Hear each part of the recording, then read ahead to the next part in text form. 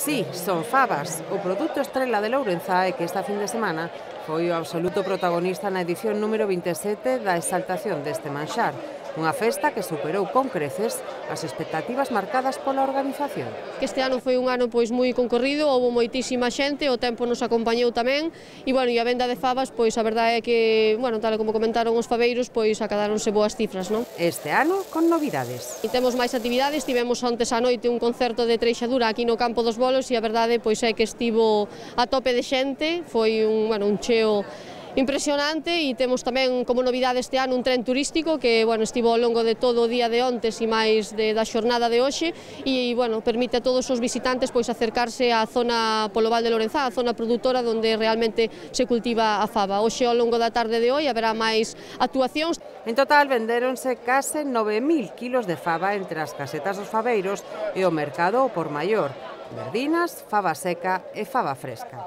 Ai, la reina es la fava galaica, Después tenemos la verdina también, pero que va con pescados y mariscos también está muy rica, pero la reina, la reina es la, la fava de Lourenza, por supuesto. O certo é que algo ten esta zona para producir un produto caracterizado pola finura, a pel fina e un sabor excepcional.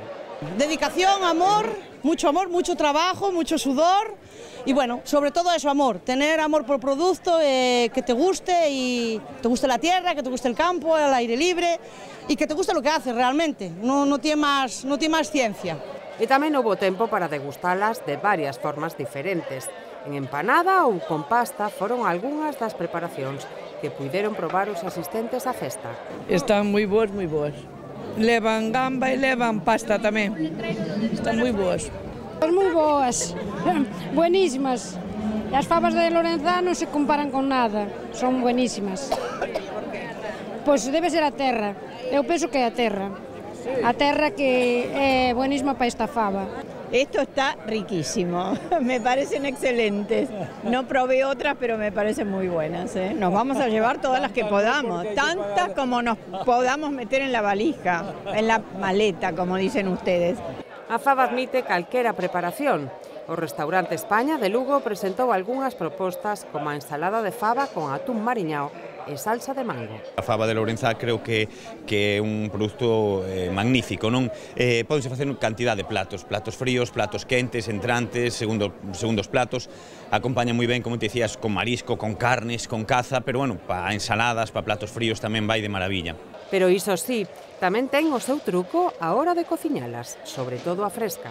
O único que temos que facer é, é cocelo a, a un lume moi despaciño, para que non erva demasiado a auga e non se remexan demasiado na pota e así rompan, e ir vixiando xusto, xusto punto hasta que, eso, hasta que nos quede moi cremosiña, e, pero nos quede totalmente enteira a fava.